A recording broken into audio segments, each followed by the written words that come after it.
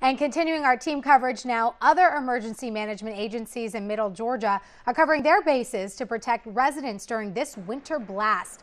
41 NBC's Skyler Henry is live in Warner Robins, where Houston County's EMA is using teamwork to get everyone safe. Ashley, I'm on an overpass right now in Warner Robins overlooking I-75. I've got to tell you, it feels pretty good out here right now, but as you and Chris have mentioned, I'm sure it's going to get really cold and it's going to get cold quick, fast, and in a hurry. Crews tell me that they will be spreading salt and sand mixtures on overpasses and bridges like this to make sure that all of their bases are covered throughout the county. They actually need departments in the county to work together to help them do that. Talks of chilly temperatures have emergency crews all over Houston County warming up their response vehicles.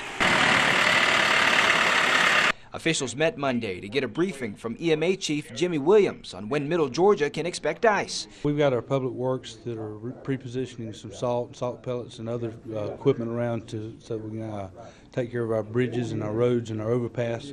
Crews are already taking steps to prepare. They've got pallets of salt and sand mixtures ready to hit the streets. Williams thinks preparation is the key to make sure everyone stays safe. All of our players have been in place. Red Cross was here in case we need sheltering and other things.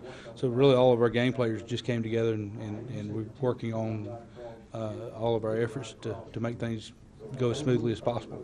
Cars may be speeding past this road now, but emergency crews in Houston County want to make sure they pay attention to that caution.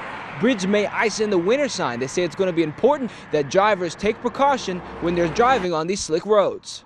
It's one thing, but when you have sleet and ice and, and, and things that may hamper the transportation and, and you're traveling to and from school, that, that's a totally different issue. Officers from different police departments, public works employees, and even officials with the school district are all working as a unit to make sure everything goes well. One entity does one thing and another entity does a, a different thing, and of course it creates additional chaos and, and, issues with the constituents. So if we're all all together and all on the same page, everything works much more smoothly.